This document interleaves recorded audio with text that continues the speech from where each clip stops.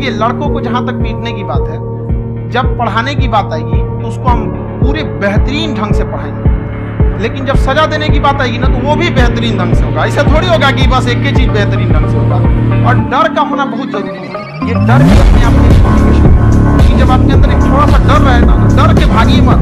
एक ऐसा डर जिसको आप लगे कि नहीं नहीं, थोड़ा सा और करने की ज़रूरत है, फिर तो ये हम इसको क्रॉस कर लेंगे।